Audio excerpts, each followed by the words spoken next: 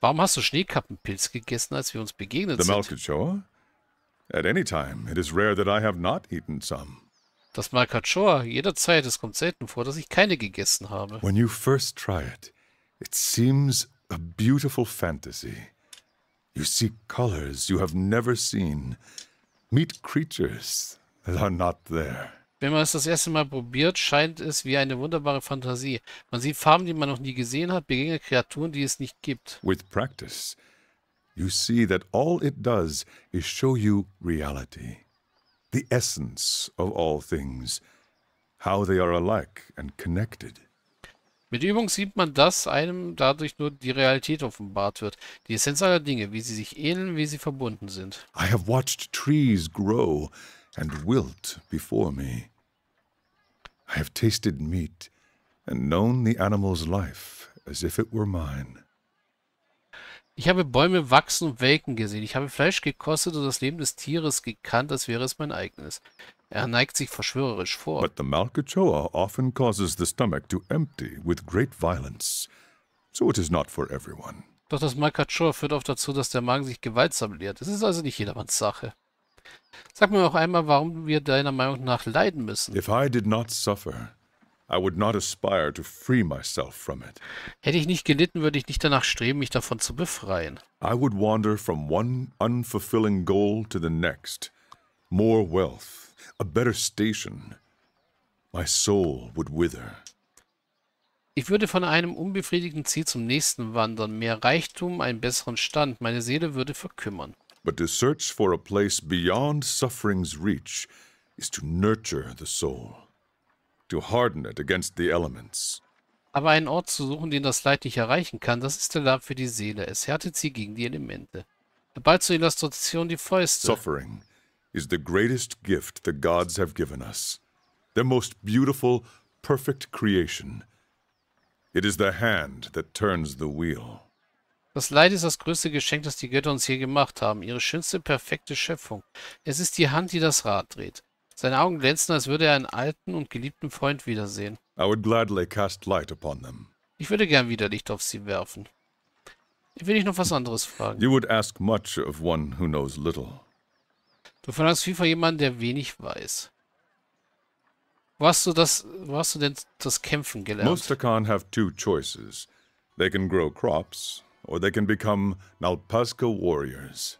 Die meisten Takan haben zwei Optionen. Sie können Felder bestellen oder sie können Alpaska-Krieger werden. I was the youngest of five, a dreamer. The Nalpazca were always in my thoughts. Ich war der jüngste von fünf Kindern, ein Träumer. Die Alpaska waren immer in meinen Gedanken. They did not feel the same about me. Three times I tried to join their ranks. Three times I was refused. Sie empfanden nicht dasselbe für mich. Dreimal bewarb ich mich um den Beitritt, dreimal wurde ich abgewiesen. Warum hat man dich All that abgelehnt? time spent dreaming, and I had not thought to prepare.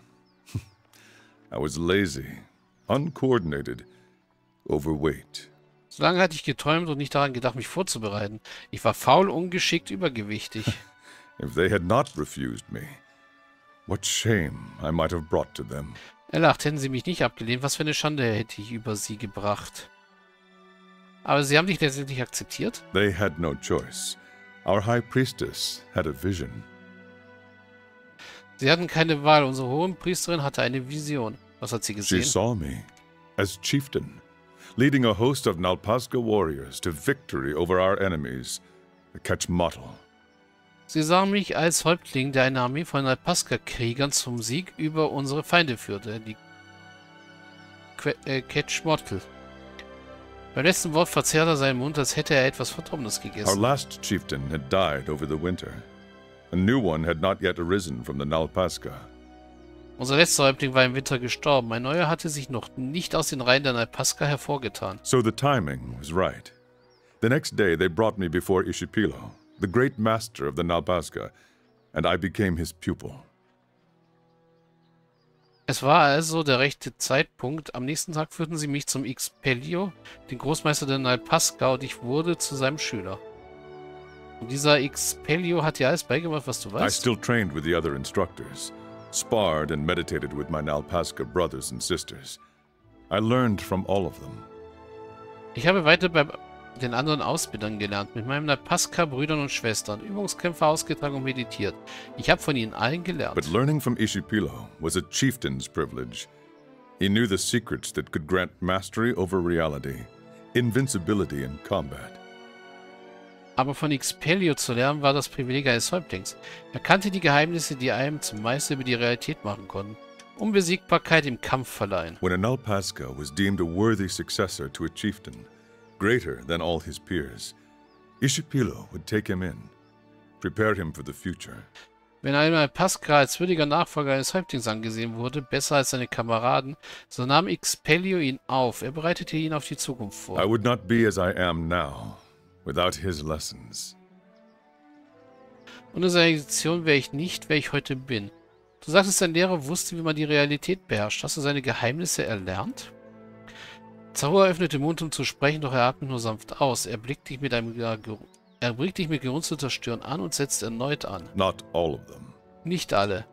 Was war es, was dein Meister dich niemals gelehrt A hat? story for another time, perhaps. One thing he did teach me was that the more you talk, the less you hear. And the less you hear, the less you have that is worth saying. Das ist vielleicht eine Geschichte für ein andermal. Er brachte mir unter anderem dies bei. Je mehr man spricht, desto weniger hört man. Und je weniger man hört, desto weniger hat man, das sich zu sagen lohnt. Erzähl mir was von deiner Heimat. Ishmael is vast. Outsiders think of it as one land and its people as one people. But if you walk across it, you see that there are many Ishmaels. Ixamitl ist riesig. Außenstehende sehen es als ein Land, sein Volk als ein Volk. Aber wenn man es durchwandert, erkennt man, dass es viele Ixamitls gibt. The Ishmael that the Khan know is rich in soil and water. The crops seem to grow in front of you. We build our homes along the Aki River, and it is good to us. Das Ixamitl, das die Takan kennen, ist reich an fruchtbarer Erde und Wasser. Die Feldfrüchte wachsen wie von allein. Wir haben unsere Häuser am Fluss Akwi errichtet und er ist gut zu uns. Though every so often it floods, so the Khan do not forget their suffering. Auch wenn er immer wieder über seine Ufer tritt, damit die Takan ihr Leid nicht vergessen. It would not be the rainy season without my neighbor Esley swimming after his escaped goats and nearly drowning.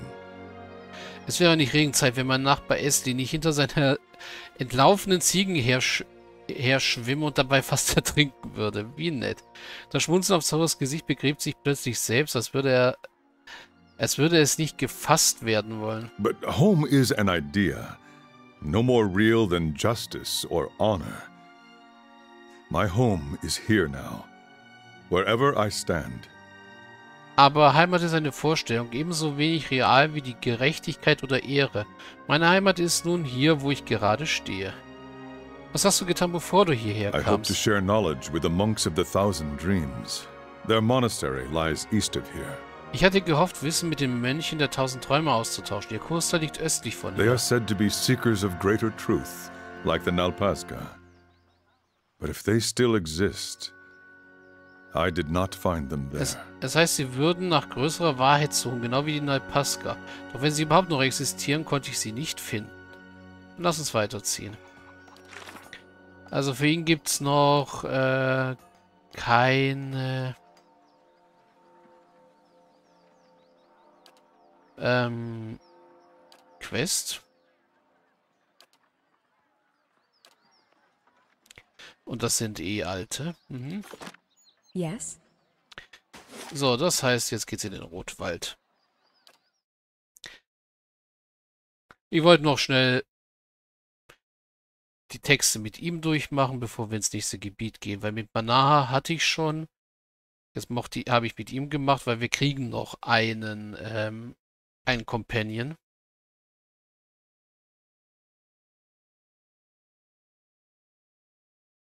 Und ich will dieses Mal versuchen, so gut wie möglich mit allen Companions ihre Quests zu machen.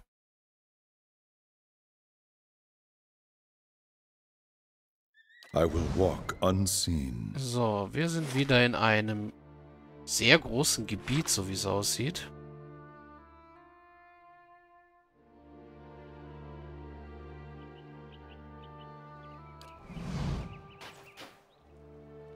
Dieser Wolf liegt im Schnee vor Erschöpfung und Schmerzen hechelnd. Ein Pfeil hat seinen Vorderlauf durchbohrt und, und treibt aus der Flanke des Tieres.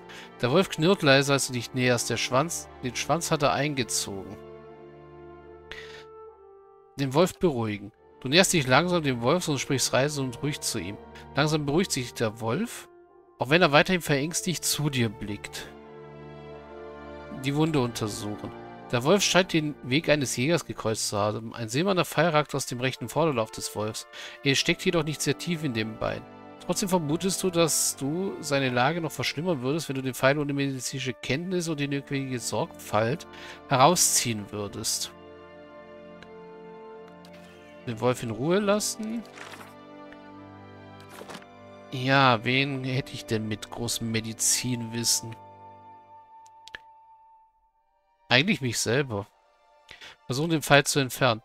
Manea bewegt sich auf das Tier zu, um ihm zu helfen. Deine Bemühungen, den Wolf zu beruhigen, haben sich gelohnt.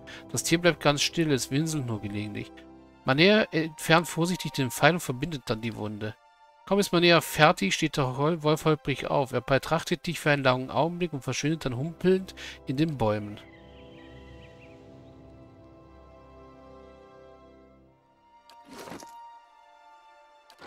Silberpfeil ist ein Questgegenstand, oder? Dieser angelaufene Silberpfeil steckt in der Flanke eines Wolfes, ist hier noch nahezu unbeschädigt. Einzig die sorgfältige Befehlung wurde angebissen. Als du den Pfeil in der Hand hältst, stehen dir die Haare zu Berge. Äh, hat das was hier mit dem Wolf? Ach nee, das ist auch hier.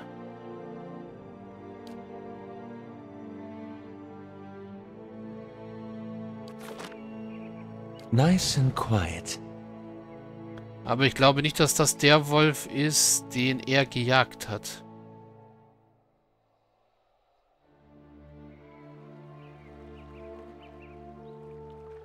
Dafür war der Wolf zu friedfertig und zu sehr verletzt. Mal gucken, ob ich die Wilderer finde, die dafür verantwortlich sind.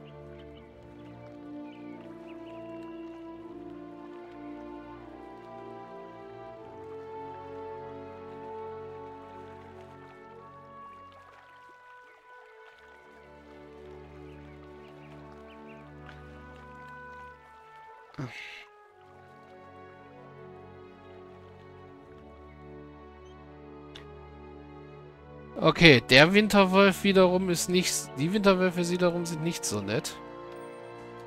Oh, und auch noch von einem Druiden.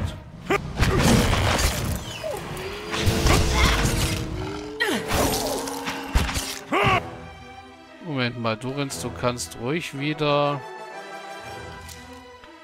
umswitchen und du machst am besten Spiegelbilder.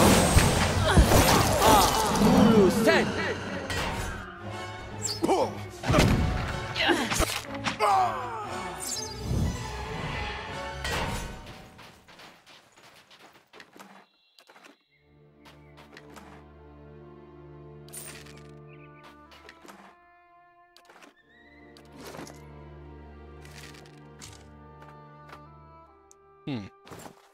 Fellrüstung.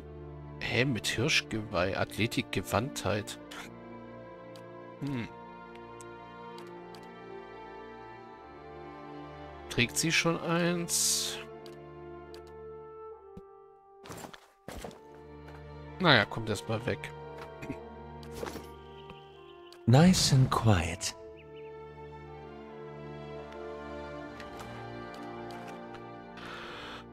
Okay.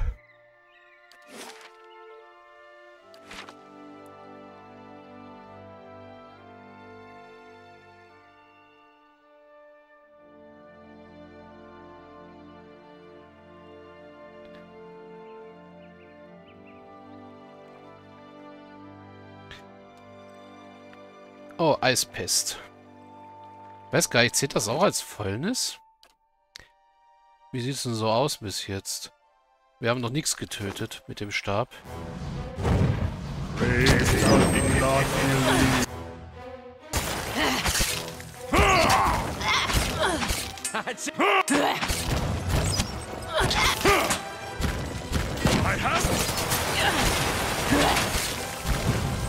I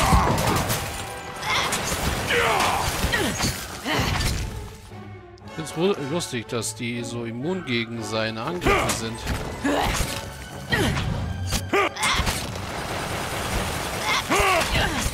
Yes? Let's...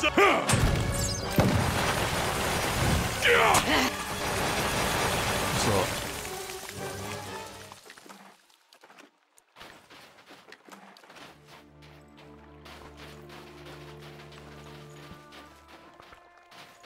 Okay.